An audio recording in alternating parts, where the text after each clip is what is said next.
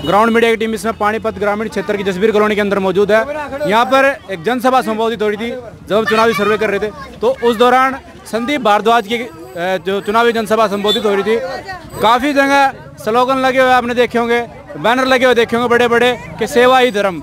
जानते उस भाई से कि क्या वो सेवा कर रहा है, क्या उसका धर्म है। सीधा मिलता है संदीप भारद्वाज से। भाई साहब राम राम भाई साहब। आया शराब छटवा दिए बेटे बस तेरी भगवान यानी बंदी हरियाणा में कितनी? और मेरा चल गया। बहुत बहुत धन्यवाद। भाई साहब राम राम। राम राम। पब्लिक का क्राउड देख करके हम यहाँ पे रुके बहुत सारी भीड़ थी। क्या कारण है भीड़ का? प्यार मिलता है लोगों का हमने काम किए लोगों के लिए और जनता हमें पूरा सहयोग देती है हम जहाँ भी जाते हैं प्यार मिलता है पूरा सहयोग मिलता है। बड़े बड़े स्लोगन लगे हुए बड़े बड़े पोस्टर हम लगे हुए देखे। सेवा ही धर्म। क्या सेवा और क्या धर्म करते हैं आप सेवा और धर्म के बारे में मैंने आपको बताया। हम काम करते हैं सामाजिक अलग तरीके से। सामाजिकता को लेके हमने काम की, शिक्षा को लेके कोचिंग देते हैं मेरे भाई। हम फ्री कोचिंग देते हैं और उससे कोचिंग के माध्यम से हमने 170 बच्चों को मेरे भाइयों ने नौकरी लगवाया। गाँव चुलकाना में मेरे भाई हैं।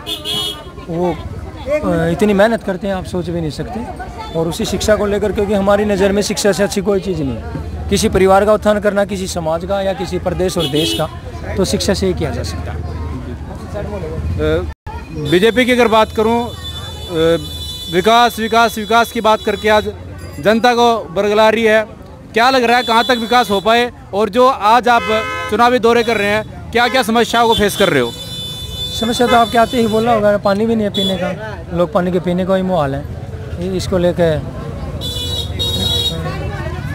बताना चाहूँगा मैं आपको या आगे और जाओगे आप तो आपको देखने को मिलेगा। बहुत सारी गलियों में जो मैंने बताया था मकानों का मैंने मुद्दा उठाया। वहाँ मकानों के इतने इतने मकान दबा दिए किसी का पाँच फुट किसी का छः फुट।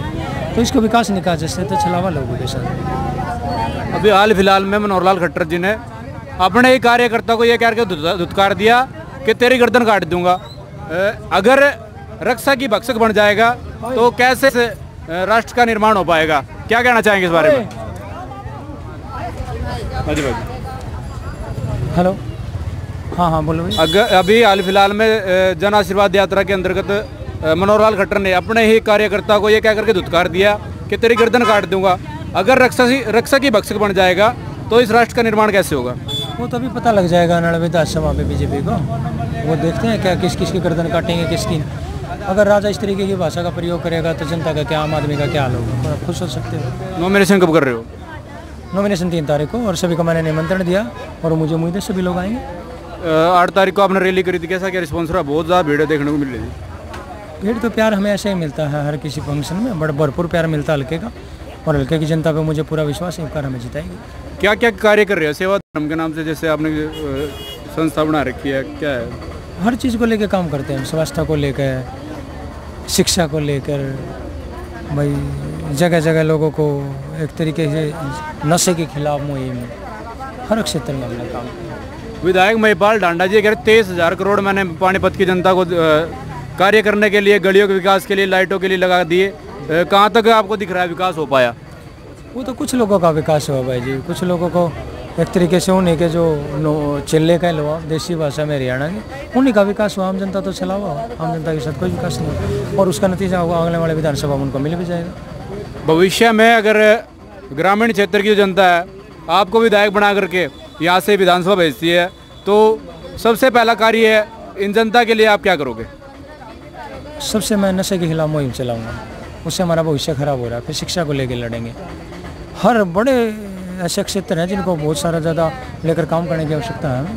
हम हर क्षेत्र में काम करेंगे और जनता के मुहिम को आगे बढ़ाएँगे जनता के जो भी दुख हैं उनको दूर करेंगे। तो ये थे हमारे साथ संदीप भारद्वाज बड़ी बेबाकी से और बड़ी बारीकी पहलों से उन्होंने अपनी बात को रखा जनता की समस्याओं को बताया पल पल की जानकारी के लिए मेरे साथ बने रहे। ग्राउंड मीडिया से मैं धर्मेंद्र इंसाफ। राष्ट्र निर्माण की जानकारी के लिए ग्राउंड मीडिया चैनल को सब्सक्राइब करें और शेयर करें।